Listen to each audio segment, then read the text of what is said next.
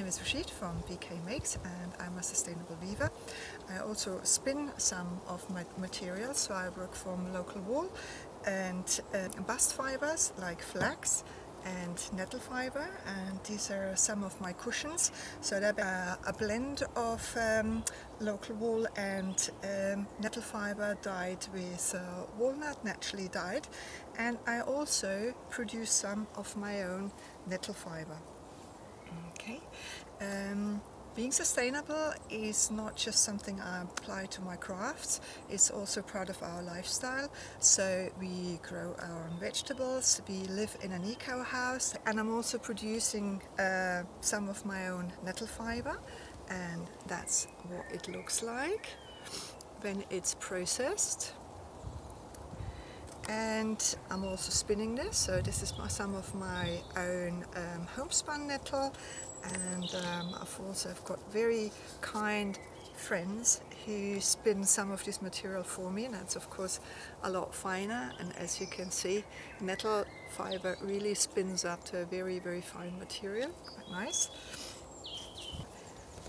I also spin it with wool. That might be a little bit more easy for people that just um, start spinning because nettle fiber is quite fine and slippery so it can pull apart quite easily when you spin it. So in a little bit of wool, for example, just adding a little bit of um, local wool will make it a little bit easier to spin nettle fiber to start with and still makes a very very nice yarn and you don't have to spin it you can actually also just create just I say you can create cordage because nettle is so fine. Uh, it also makes very fine cordage. And um, that is actually fine enough for embroidery or craft projects like wild jewelry. And you can of course make the cordage a little bit more coarse and that's a very quick way and if you want to find out about that, there's lots of information on the internet how to make a string or cordage from nettle fiber or nettle stems.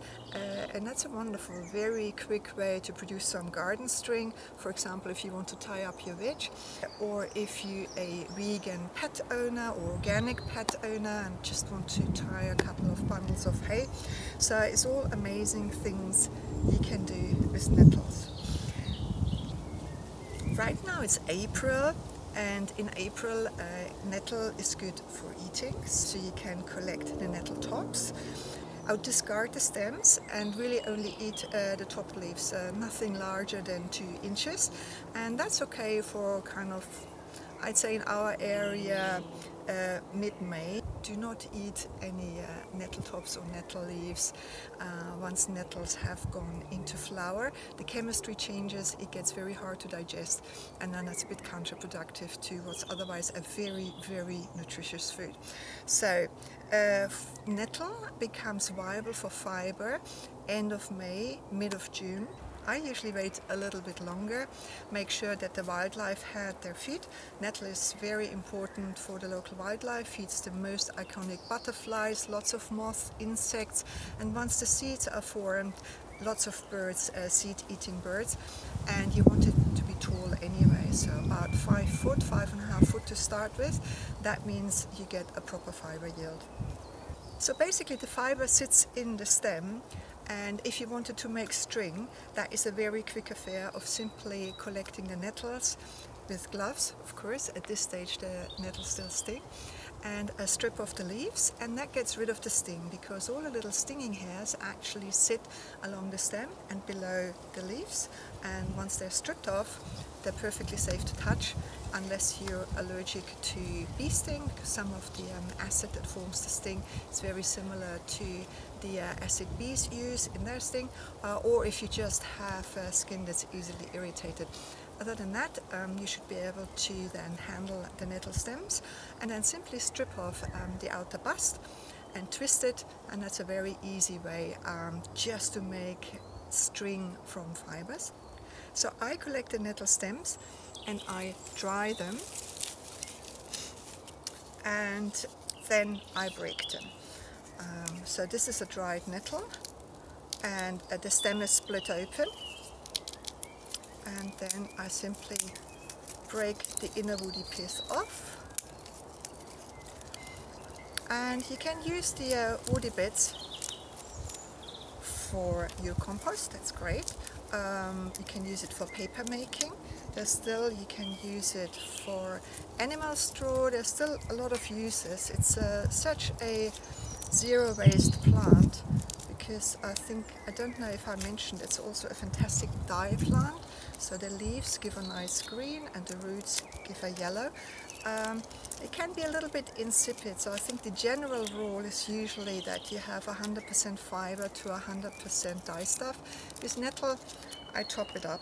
I give it a 200% nettle to 100% um, fabric or yarn, whatever you want to dye.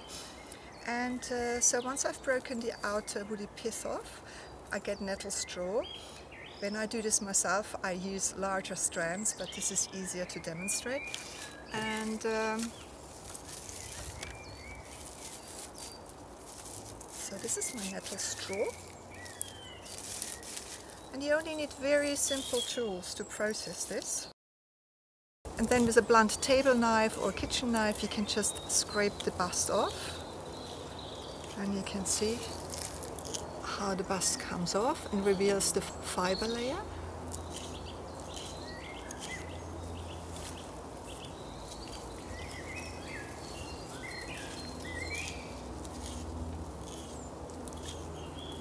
And this is how the fiber comes out, lovely little curls. So that is the fiber layer. Okay, and once you've done this for a bit, and you can see here I used uh, initially a bigger bundle and uh, longer strands. I just used the short ones for demonstration. You get something like this, which is then the scraped fiber. You only need to separate the fibers for a bit. separates them out.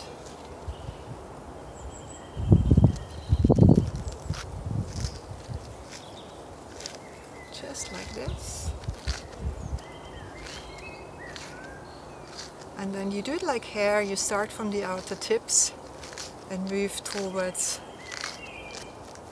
the inner bit of your strand.